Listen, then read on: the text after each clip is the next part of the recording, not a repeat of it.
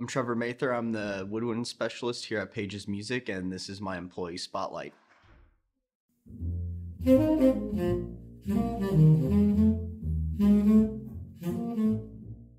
So I grew up in Noblesville, Indiana, not too far from here. Um, I went to Noblesville High School, the whole school system there, and then I, when I graduated, I went to Ball State for a music performance degree, and it had a jazz concentration, so I got that degree there.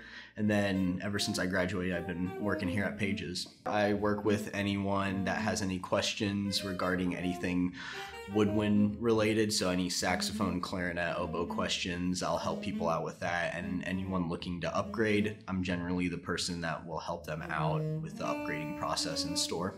Yeah, so when I graduated college, I didn't expect to be working a sales job. I actually really do enjoy it.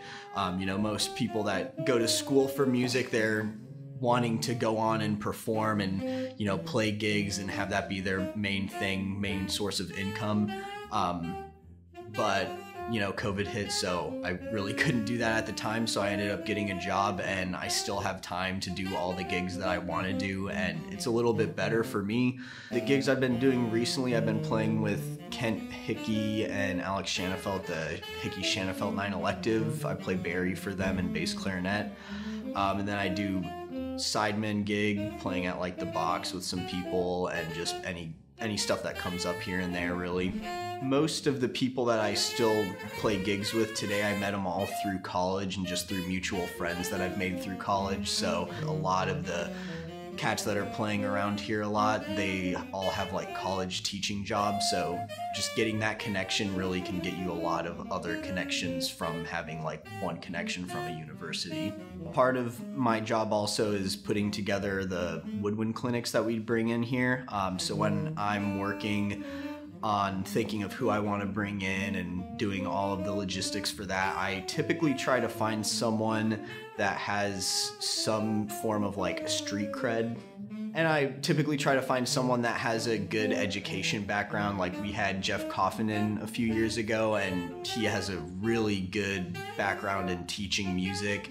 Um, we also had Sean and Bowden. He teaches all around Indy. So, you know, people that have a good education background and can really convey the message that they want to get to the students in a well manner, you know, that is just priceless as far as clinics go. My setup, typically I play on a Mark 6 with a D'Addario Jazz Select mouthpiece 7 tip opening and a Silverstein ligature, um, the gold Cryo 4 and I play with Vandoren V16 strength 3 reeds. But in the video, I was playing on Eastman's new 52nd Street tenor, the ETS 852, which is a ridiculously good tenor. Um, it's awesome. Might get one myself. uh, what do you think is the thing that surprises people I literally don't know because like everyone has something different that they're like, I never would have thought you'd do that.